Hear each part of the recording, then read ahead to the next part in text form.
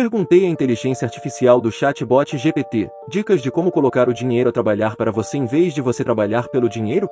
Existem algumas dicas que podem ajudar a colocar o dinheiro a trabalhar para você em vez de você trabalhar pelo dinheiro. Comece com um plano financeiro. Tenha um plano financeiro que inclua um orçamento, metas financeiras de curto e longo prazo, bem como uma estratégia de investimento. Invista em ativos que geram renda passiva. Considere investir em ativos que gerem renda passiva, como imóveis para aluguel, fundos imobiliários ações que pagam dividendos ou títulos de renda fixa.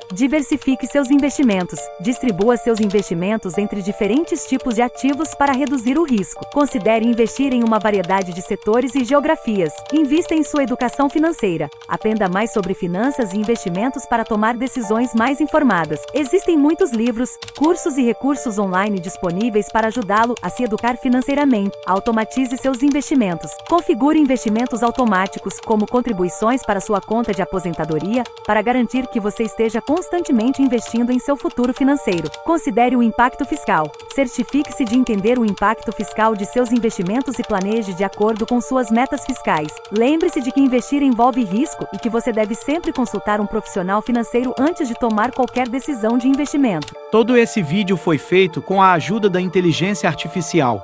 Desde a produção do conteúdo, as vozes artificiais e muito mais. Esse é só uma amostra de todo esse poder, se soubermos usar. Se você gostou das dicas e do conteúdo, já dá um tapa no like e segue o canal. Obrigado!